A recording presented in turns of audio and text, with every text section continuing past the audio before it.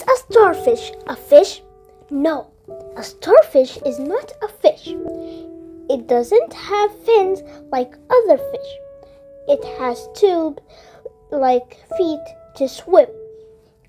Fish have gills to breathe, but a starfish doesn't have gills. They breathe through their feet.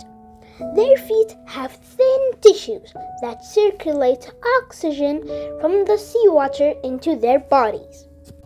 A starfish can shed or drop its arm if a predator attacks it.